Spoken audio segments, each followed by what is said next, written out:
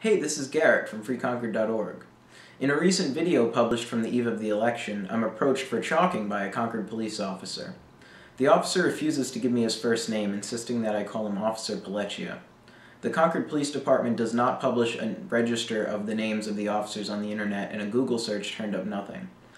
I know that his first name begins with an A, so in a moment I'm going to be calling the Concord Police Department and see if I can get the remaining letters in Mr. Pelliccia's first name.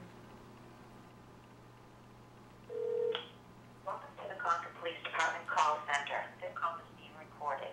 If you have an emergency, press 1 now. For matters, press 0 or remain on the line. If you know your party's extension, press it at any time.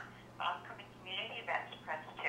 For the parking division, press 3. For police reports or firearm permits, press 4. Inquiries for police officers for detail or special event, press 5. Inquiries about employment opportunities, press 6. To provide an anonymous tip about criminal activity, call the Concord Regional Crime Line at 603-226-3100.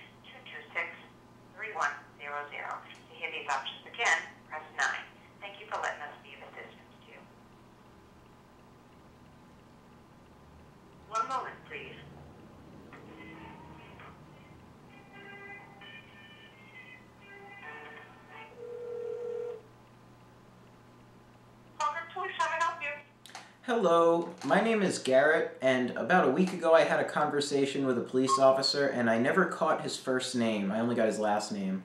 I was wondering if you could get that for me. The officer's name was Pelliccia. Okay, that would be Andrew Plunkett.